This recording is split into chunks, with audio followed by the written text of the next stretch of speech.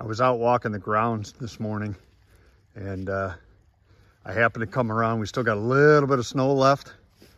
And the fun thing about seeing the snow is you get to find out that we have neighbors.